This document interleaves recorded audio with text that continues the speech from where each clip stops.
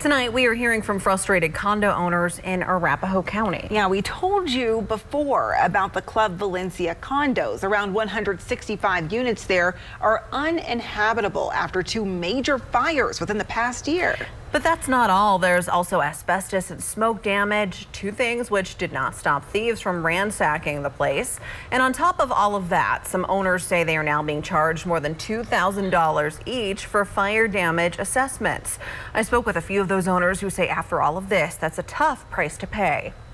This is the letter Alex Kishinevsky received in October from Club Valencia's Condominium Owners Association. It says he has to pay over $2,600 for one of the units he owns at Club Valencia. The money is a loss assessment fee that will essentially help pay for the damage from the fire last November. I'm not real happy uh, because in addition to that, I still have to pay the HOA fee for the unit that burned down. Even though Kishinevsky says that unit is uninhabitable, he owns several other condo units at Club Valencia and rents them out to tenants. He says he had to pay a loss assessment fee for each one, even the units that weren't damaged in the two fires. His homeowner's insurance covered the fees, but he still has to pay the deductibles. 500 per unit, so so it's, it's and, and my other policy is 1,000.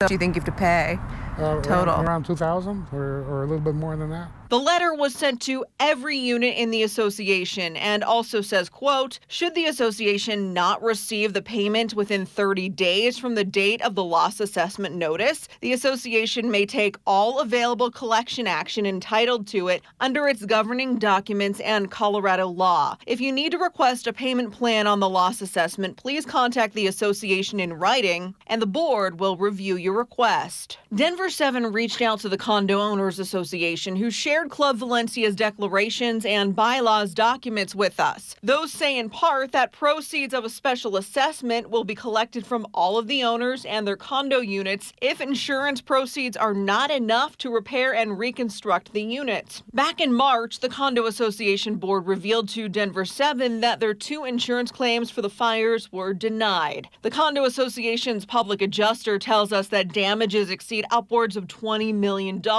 and Club Valencia is taking a compassionate approach on assessments. We're hoping for better days, you know.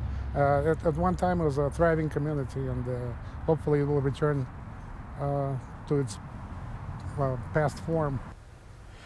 Club Valencia's public adjuster says it could be a few years before repairs are made and parts of the building are rebuilt and testing is done. Now, I asked the adjuster if condo owners will have to pay a loss assessment for the February fire, and he says that is unknown at this point.